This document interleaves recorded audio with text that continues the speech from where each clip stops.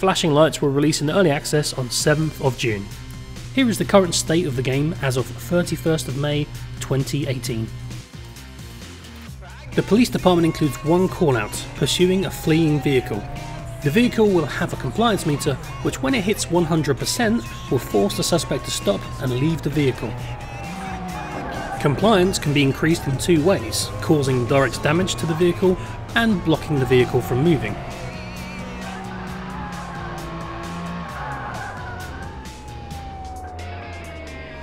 Once arrested, you can take the suspect back to the police station and fill out some short paperwork to process them.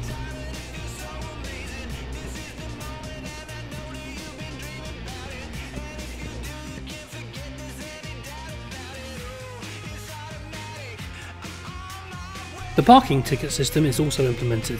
The player will need to issue the correct parking ticket in order to gain reputation points.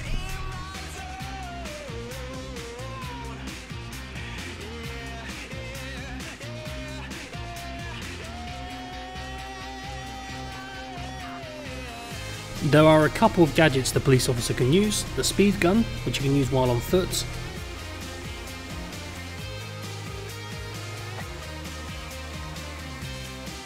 and the in-car computer, which tracks data of cars in front of you including current speed, max speed, and the distance between your vehicle and theirs. Other options for the in-car computer are still in development. The fire department currently has the greatest number of missions, many of which will involve putting out a fire, the fire department mission system is created in a way which allows us to add missions much quicker than any other department.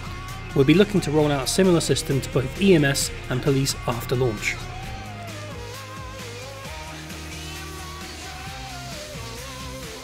Alongside putting out fires, you're also able to use the Jaws of Life to free trapped civilians from crashed vehicles. The EMS department contains two missions, one which will see you respond to a trapped civilian in collaboration with the fire departments, and a second mission, a vehicle collision where one of the drivers has been thrown from the driver's seat. In both cases, as an EMS, you must inspect the bodies with the medbag and bring them back to the hospital using the stretcher and the ambulance.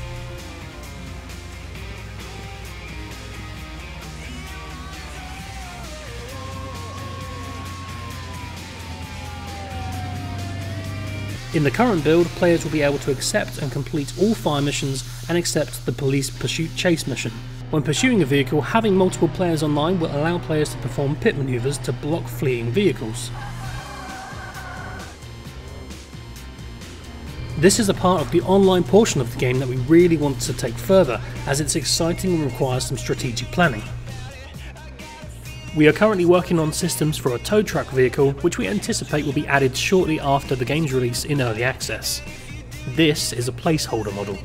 Players will be able to call out the AI controlled vehicle to remove other vehicles that block fire access or have been involved in an incident. Later, we plan to give players control of the tow truck too. This is just a taste of the content we are already working on for updates throughout early access.